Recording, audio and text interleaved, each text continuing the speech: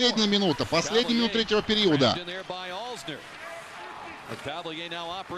Шайба теперь уже да, прописалась почти в зоне Вашингтона. Только я это сказал, да как вот Бэкстрём, Бэй, ну зачем? Вот, вот, вот не избавиться Вашингтон от того, что называется понтами. Но Чимера все-таки, да, отдал Овечкин, хе, ему хитрик не светит, но три, три передачи всяко будет.